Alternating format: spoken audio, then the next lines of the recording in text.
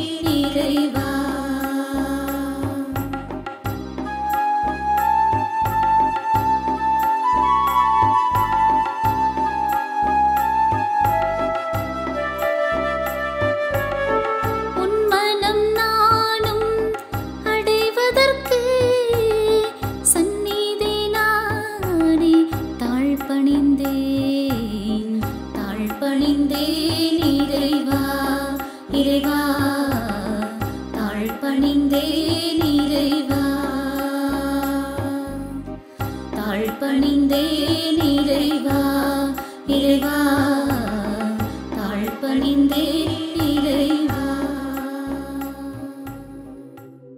அன்பார்ந்தவர்களே இந்த தியானத்திலே நாம் நம்மை உணரவும் நாம் யார் என்று அறிந்து கொள்ளவும் நம்மையே நாம் உயர்த்தி கொள்ளவும் மேம்படுத்தி கொள்ளவும் இந்த தியானம் நமக்கு பயன்படும். முதலில் சிந்திப்போம். நாம் என்பது யார்? நான் என்பது இந்த உடல் மட்டுமல்ல. நான் என்பது இந்த உடலோடு கூட. எனது குடும்பமும் நான் வாழுகிற சமூகமும் எனது நண்பர்களும் என்னை சுற்றி இருக்கிற பிற மனிதர்களும் அவற்றோடு கூட எனக்கான லட்சியங்களும் இறைவன் எனக்கு கொடுத்திருக்கிற நோக்கங்களுமே நானாக இருக்கிறேன். என் உடலை நான் பராமரிக்கிறேனா? பாதுகாக்கிறேனா? அல்லது ஒவ்வொரு நாளும் அதனை அழித்து கொண்டிருக்கிறேனா? இந்த உடலை பேணி பராமரிக்க நான் முயற்சி எடுப்பேன். இரண்டாவது எனது குடும்பம். என் குடும்பம் எனக்கான பலம் என் குடும்பத்தில் இருக்கிற நபர்கள் ஒவ்வொருவரும் எனக்கான ஆசிர்வாதங்கள். அவர்களை நான் சரியாக முறையாக பராமரிக்கவும் பாதுகாக்கவும் அவர்களுக்கு தகுந்த மரியாதையை கொடுக்கவும் நான் முயற்சி எடுப்பேன். மூன்றாவது என்னை சுற்றி இருக்கிற இந்த சமூகம் அக்கம் பக்கத்தார் உறவுகள் அனைவரும் எனக்கு முக்கியம். அவர்கள் இல்லாமல் நான் இல்லை. அவர்கள் அனைவரும் இந்த உலகில் நல்ல வண்ணம் வாழ வேண்டும். அதற்கு நான் நிச்சயம் உதவியாக இருப்பேன். அதற்கென நான் முயற்சிப்பேன். நான்காவது எனது நண்பர்கள். எனது வளர்ச்சியிலும் வீழ்ச்சியிலும் எனக்கு பக்கபலமாய் இருக்கக்கூடியவர்களின் நண்பர்கள் மட்டும்தான். அவர்கள் இல்லாமல் என் வாழ்க்கை மகிழ்ச்சிகரமாக இருக்கப் போவதில்லை. ஆகவே என் நண்பர்களோடு கூட நான் வாழுகிற இந்த வாழ்க்கை இன்னும் சிறப்பானதாக அமைய என் நண்பர்களுக்கு நான் உதவியாக இருப்பேன். அடுத்து எனது லட்சியமும் இறைவன் என்னை மதித்து இந்த உலகில் எனக்கு கொடுத்திருக்கிற நோக்கங்களும். அன்பு இறைவா நீர் என்னை மதித்து எனக்கு கொடுத்திருக்கிற நோக்கங்கள் ஒவ்வொன்றையும் நான் சரியாக முறையாக செய்து முடிக்க பலம் தாருங்கள். என்னை இந்த உலகிலே நீர் ஒரு குப்பையாக படைத்து விடவில்லை. அவசியமற்றவனாக இந்த உலகிலே என்னை அனுப்பி வைக்கவில்லை. மாறாக எனக்கு ஒரு நோக்கத்தை வைத்து இந்த உலகுக்கு என்னை அனுப்பி வைத்திருக்கிறீர்.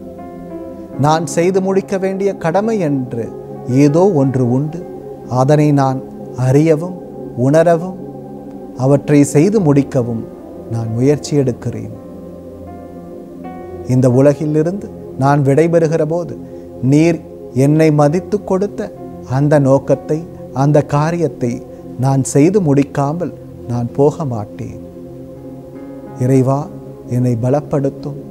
எனக்கு ஆற்றல் தாரும்.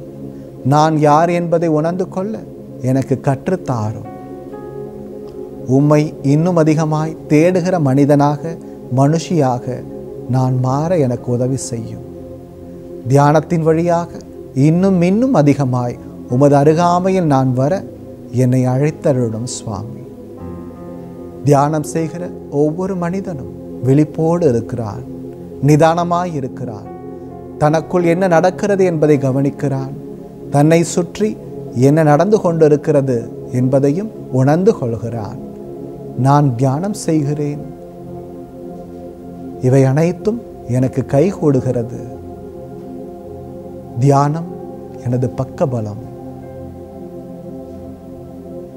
நான் உணர்வது நான் சிந்திப்பது நிச்சயம் என் வாழ்க்கையில் எனக்கு ஆசிர்வாதங்களை கொண்டு வந்து சேர்க்கும்.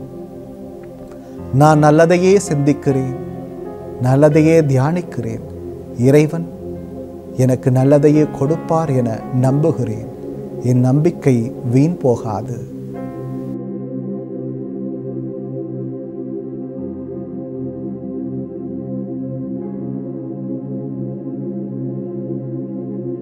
அன்பார்ந்தவர்களே ஒரு மனிதன் அகத்திலும் வெற்றி பெற வேண்டும் புறத்திலும் வெற்றி பெற வேண்டும். வெளி உலக வெற்றி என்று ஒன்று உண்டு.